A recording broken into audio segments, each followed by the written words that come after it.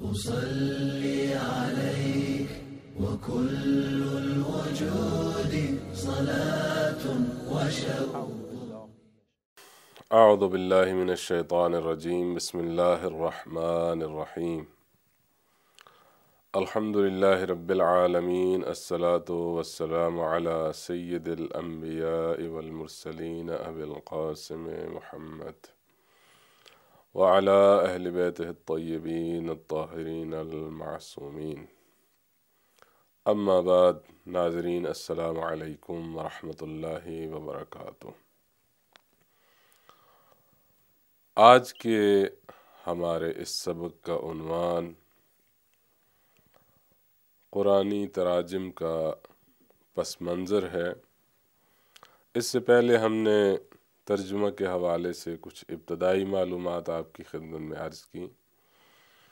آج یہ بتانا مقصود ہے کہ ان تراجم کی جو تاریخ ہے اور اس کا پس منظر، تراجم کا وہ کافی پرانا ہے۔ جس طرح تاریخ اسلام کے بارے میں ہم دیکھتے ہیں کہ جب سے اس عرض پر تعلیمات اسلامی متعارف ہوئیں۔ اسی دوران سے ہی قرآن کا ترجمہ بھی لوگوں کی توجہ کا مرکز بنا اور دنیا کی کئی زندہ زبانوں میں قرآن کا ترجمہ پیش کیا گیا۔ اگر ہم ماہرین لسانیات کی طرف توجہ کریں اور ان کی رائے کو دیکھیں تو ان کا کہنا یہ ہے کہ دنیا میں پچیس سو سے پانچ ہزار کے لگ بھگ زبانیں بولی جاتی ہیں، موجود ہیں۔ البتہ یہ جو پچیس سو سے پانچ ہزار کے درمیان اختلاف ہے اور بہت بڑا فاصلہ ہے، اس کی وجہ یہ ہے کہ زبان اور لہجے اور مختلف قسم کی بولیاں، ان میں مقامی زبانیں، ان میں فرق کی وجہ سے یہ اعداد و شمار میں فرق آیا ہے۔ زبان اپنی ایک خاص تعریف رکھتی ہے کہ زبان اسے کہتے ہیں، جس کے خاص قواعد و ضوابط ہیں، اس کے ادبیات ہیں، اس کا اس کے لیے خاص قوانین ہیں۔ جبکہ بولی جو ہوتی ہے صرف بولنے کی حد تک اور تکلم کی حد تک، ایک دوسرے سے ارتباط کی حد تک اور اپنا معافظ ضمیر دوسروں کے پہنچانے کی حد تک صرف شفاہن، مکتوب اس میں کوئی چیز نہیں ہوتی، اسے بولی کہا جاتا ہے عام طور پر کہ ہمارے ہاں مقامی زبانیں بہت ساری ایسی ہیں جو موجود ہیں، لوگ ایک دوسرے کے ساتھ ان کے ذریعہ مربوط ہوتے ہیں، بات چیت کرتے ہیں، لیکن اس زبان میں لکھا نہیں جاتا۔ اس زبان کے کوئی ادبی اثرات موجود نہیں ہوتے۔ لیکن جب کہا جاتا ہے کہ زبان، مثلا فارسی زبان، اردو زبان، اس کا مطلب یہ ہے کہ اس زبان کے جو لوازمات ہیں اس کا خاص ادب ہے، اس کے خاص قواعد و ضوابط ہیں اس کے اندر ضرب الامثال موجود ہیں، اس کے اندر آثار مختلف قسم کے لکھے گئے ہیں، موجود ہیں، پائے جاتے ہیں۔ لہذا اس فرق کی وجہ سے یہ اعداد و شمار میں بھی اتنا زیادہ فرق آ گیا ہے کہ پچیس سو سے پانچ ہزار تک کے درمیان ماہرین لسانیات نے احتمال دیا کہ دنیا میں زبانیں موجود ہیں۔ اگر ہم ان زبانوں کی جغرافیائی لحاظ سے ایک شناخت کریں، تو ہم دیکھتے ہیں کہ چونکہ دنیا کی زیادہ آبادی کا تعلق جو انسان آباد ہیں اس عرض پر، ان کی اکثریت بر اعظم ایشیا میں موجود ہے۔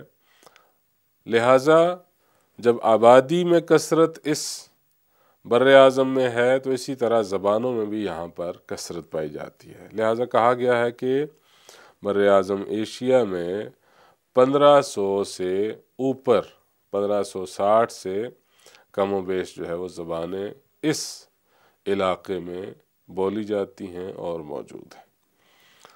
دوسرے نمبر پہ جو علاقہ زبانوں کی کثرت کے اعتبار سے معروف ہے وہ افریقہ ہے، اس میں بھی ہزار سے اوپر زبانوں کے بارے میں احتمال دیا گیا ہے۔ اسی طرح شمالی و جنوبی امریکہ میں آٹھ سو کے لگ بھگ زبانیں بتائی گئی ہیں۔ پھر یورپی ممالک میں مشرقی اور مغربی یورپ ہر دو کو ملا کر تقریباً پچپن زبانیں وہاں پر بولی جاتی ہیں۔ یعنی مجموعی طور پر اگر ہم ملاحظہ کریں تو دنیا میں پانچ ہزار کے لگ بھگ زبانیں موجود ہیں اور مقامی اور بولنے والوں کی تعداد کے اعتبار سے کم و بیش سب کو ملا کر جب ہم ایک اعداد و شمار نکالتے ہیں تو وہ کافی بڑی تعداد میں زبانیں سامنے آتی ہیں۔ اس تمہیدی بات کرنے کا ایک مقصد تھا اور وہ مقصد یہ تھا کہ جب ہم زبانوں کی کثرت کو دیکھتے ہیں اور ادھر سے قرآن کریم کو دیکھتے ہیں، تو وہاں سے ہمیں یہ اندازہ ہوتا ہے کہ اس مقدس اور الہی کتاب کا کتنی زبانوں میں ترجمہ ہو چکا ہے۔ آج جو ہمارے ہاتھ میں اعداد و شمار موجود ہیں، ان کی بنا پر انیس سو پچانوے عیسوی تک اگر ہم ایک اعداد و شمار اخذ کریں اور نکالیں، تو قرآن کریم کا ترجمہ ستر زبانوں میں موجود تھا اس وقت تک، انیس سو پچانوے تک۔ آج یقیناً اس میں تغیر و تبدل آیا، اس میں بڑھاوا آیا، اس میں یقیناً اضافہ ہوا ہے، لیکن اس وقت تک اعداد و شمار جو ہے وہ اس طرح کا ہے۔ جبکہ دوسری الہی کتابیں جو موجود ہیں، جیسے کتاب مقدس ہے، انجیل اور تو رہ تو انجیل، ان کا جب ہم جائزہ لیتے ہیں تو ان کا ترجمہ اس سے کہیں زیادہ ہے۔ اس کے تراجم کی تعداد اس دور تک یعنی انیس سو پچانوے تک، جو تراجم کی تعداد تھی، وہ دو ہزار کے نزدیک زبانوں میں اس کتاب مقدس کا ترجمہ ہو چکا تھا۔ یہاں سے ہم یہ نتیجہ عکس کر سکتے ہیں کہ دنیا کے جس علاقے میں بھی انسان آباد ہیں، بہرحال ان کی ایک توجہ مقدس تعلیمات کی طرف ہے۔ اور وہ الہی پیغام کو کسی نہ کسی طریقے سے سمجھنا چاہتے ہیں۔ اب یہ الگ بات ہے کہ وہ کس مقدس کتاب کے پیچھے جا رہے ہیں۔ آیا وہ توریت کے پیچھے جاتے ہیں، انجیل کے پیچھے جاتے ہیں یا حقیقت و حق و حقیقت کی آئینہ دار کتاب قرآن حکیم کی طرف جاتے ہیں؟ لیکن ایک یہاں سے رجحان کا اگر اندازہ لگایا جائے تو تمام انسانوں کے اندر، نہ صحیح تو اکثریت کے اندر، یہ رجحان موجود ہے اور ملاحظہ کیا جا سکتا ہے کہ وہ الہی پیغام کو جاننا چاہتے ہیں اور سمجھنا چاہتے ہیں۔ میں اس پر زیادہ تفصیلی بات نہیں کروں گا۔ اگلی بات کو شروع کرتا ہوں اور وہ یہ ہے کہ جب ہم نے یہ مشاہدہ کر لیا کہ دنیا کی مختلف زندہ زبانوں میں اور رائج زبانوں میں قرآن حکیم کے تراجم کا ایک سلسلہ ابتداء اسلام اور پہلی صدی سے ہی شروع ہوا اور آج بھی جاری و ساری ہے، تو اس میں سے کچھ زبانیں ایسی ہیں جن میں بہت زیادہ اس الہی کتاب پر کام ہوا۔ ترجمے کی صورت میں، تفسیر کی صورت میں، قرآن فہمی کی صورت میں بہت زیادہ کام ہوا۔ ہم چند ایک ان زبانوں کو اپنے لیے سامنے رکھتے ہیں اور ان کے بارے میں ہی گفتگو کریں گے۔ اس سلسلے میں دو زبانیں بہت ہی زیادہ ان میں کام ہوا ہے اور ان پر میں گفتگو کرنا چاہوں گا، جن میں سے ایک فارسی زبان ہے اور دوسری اردو زبان ہے۔ چونکہ ہمارا جو درس و تدریس کا سلسلہ ہے، وہ اردو زبان میں ہے، اس پر خصوصیت کے ساتھ میں گفتگو کروں گا اور جو اردو زبان میں قرآنیات پہ کام ہوا ہے، اس کی تفصیل آپ اجزان کی خدمت میں عرض کروں گا۔ لیکن اس سے پہلے میں چاہتا ہوں کہ فارسی زبان کے تراجم کے بارے میں ایک انتہائی مختصر انداز میں آپ کی خدمت میں کچھ عرائض پیش کی جائیں۔ فارسی زبان میں جب ہم تراجم کا جائزہ لیتے ہیں تو ہم دیکھتے ہیں کہ فارسی زبان میں متعدد تراجم انجام پائے اور آج بھی اس پہ کام ہو رہا ہے اور بہت زیادہ کام ہو رہا ہے اور خاص توجہ کا مرکز ہے یہ الہی کتاب۔ اس پر متعدد تفسیریں لکھی جا چکی ہیں، لکھی جا رہی ہیں۔ علماء دانشور ایک انتہائی خاص توجہ کے ساتھ اس کتاب پر کام کر رہے ہیں۔ اگر ہم اس حرکت کو اور اس نہزت کا جو آغاز ہے اس کو ہم دیکھتے ہیں تو چونکہ ایک تاریخی لحاظ سے ہم نے جائزہ لینا ہے تراجم کا تو فارسی زبان کے بارے میں ہم یہ دیکھتے ہیں کہ اس کا پہلا ترجمہ کب ہوا اور کس نے آغاز کیا قرآن کے فارسی ترجمے کا۔ تو اس سلسلے میں ہمیں پہلی صدی میں، پہلی صدی ہجری میں ایک روایت ملتی ہے کہ جس سے معلوم ہوتا ہے کہ خود حضرت رسول اکرم صلی اللہ علیہ وآلہ وسلم کے دور میں ہی فارسی زبان میں ترجمہ قرآن کا آغاز ہوا ہے۔ اب یہ روایت کتنی معتبر ہے اس کے بارے میں میں جو دانشور حضرات کی رائے ہے اور آرا ہے وہ پیش کروں گا۔ لیکن ایک روایت بہرحال موجود ہے کہ اس ترجمے کے بانی آغاز کرنے والے حضرت سلمان فارسی ہیں اور فارسی ترجمے کا آغاز خود حیات پیغمبر گرامی اسلام صلی اللہ علیہ وآلہ وسلم میں ہوا۔ اس سلسلے میں ایک روایت یہ ہے کہ یہ ترجمہ انجام پایا اور صرف سورہ فاتحہ کی حد تک حضرت سلمان فارسی نے سورہ فاتحہ کا ترجمہ فارسی زبان میں کیا اور وہاں سے فارسی تراجم کا آغاز ہو گیا۔ پھر اس کے بعد بعد میں آنے والے مختلف علماء نے، دانشوروں نے فارسی زبان میں تراجم کو شروع کیا۔ لیکن پہلا قدم اور ابتدا جو اس ترجمے کی ہوئی، وہ حضرت سلمان فارسی سے ہوئی۔ ایک نقطہ نظر یہ ہے اور مشہور قول یہ ہے کہ آغاز یہاں سے ہوا۔ اسی سلسلے میں جو دوسری رائے ہے، وہ علوم قرآن کی بڑی معروف شخصیت ہیں اور بڑی معروف ان کی کتاب ہے۔ کتاب کا نام ہے مناحل العرفان فی علوم القرآن۔ لکھنے والے ہیں جناب زرقانی۔ انہوں نے اپنی کتاب میں یہ نقطہ نظر اپنایا ہے کہ حضرت سلمان فارسی کے ذریعہ ترجمے کا آغاز نہیں ہوا اور ایسی کوئی بات جو ہے وہ نہیں ہے۔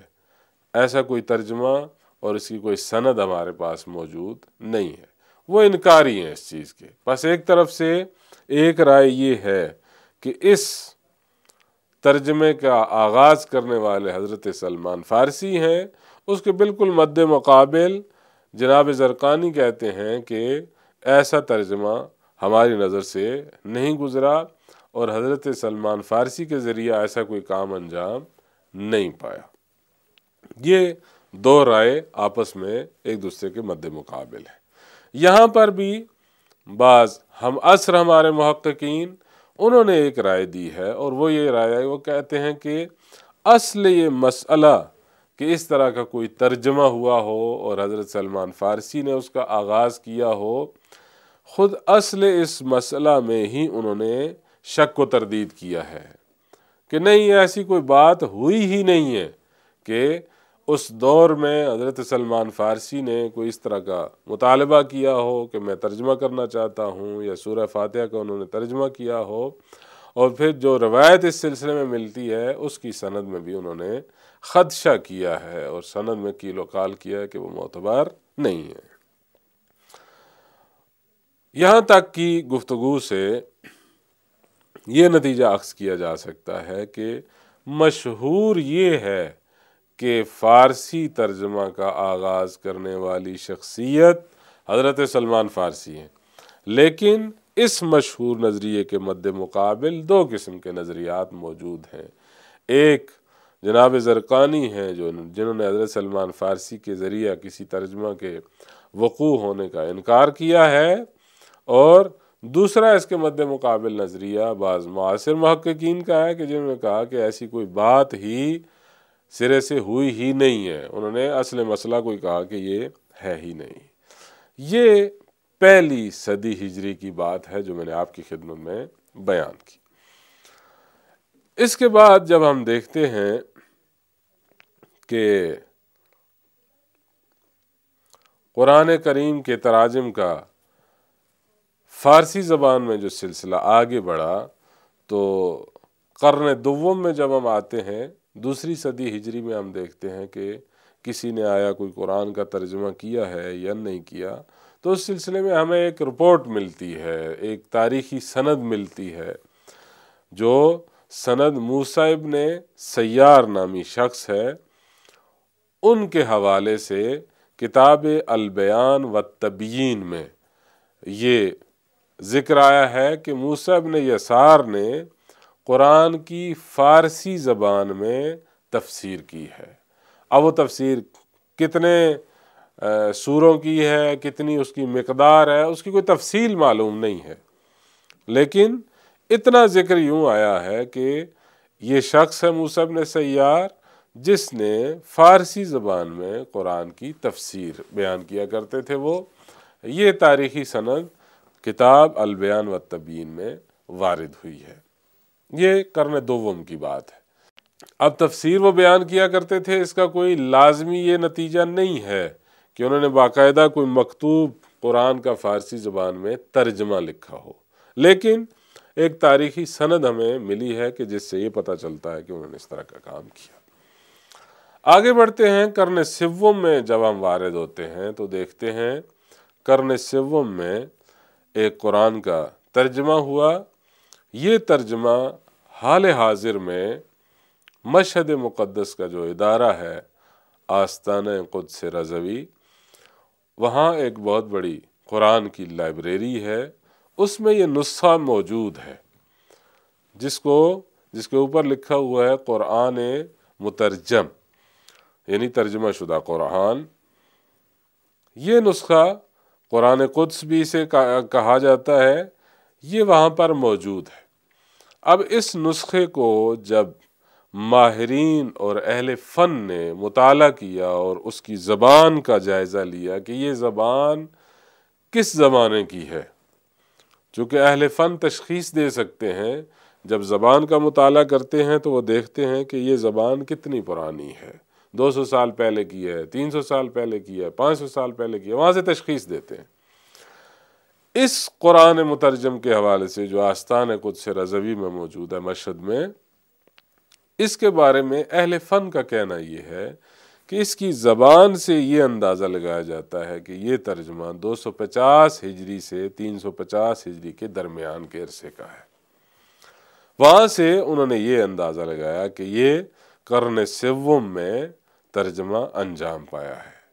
لیکن اس کی باقاعدہ ہمارے پاس کوئی سند ہو، کوئی تاریخی شواہد ہو ہمارے پاس، وہ نہیں ہے۔ صرف اہل فن کا یہ ایک تبصرہ ہے اور زباندانی کے قوانین کو دیکھتے ہوئے اور زباندانی کے جو اصول ہیں، ان سے، ان کو پرکھتے ہوئے انہوں نے یہ نتیجہ عکس کیا ہے کہ یہ ترجمہ دو سو پچاس ہجری سے تین سو پچاس ہجری کے درمیان اسے لکھا گیا۔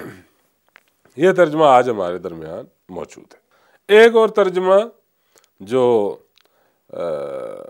اس کا نسخہ بھی موجود ہے اور اس ترجمے کے بارے میں بھی محققین نے اپنے رائے دی ہے۔ وہ انشاءاللہ میں اگلے سبق میں آپ کی خدمت میں پیش کروں گا۔ اسی کے ساتھ آج کے سبق کا اختتام ہوتا ہے۔ والسلام علیکم ورحمۃ اللہ وبرکاتہ۔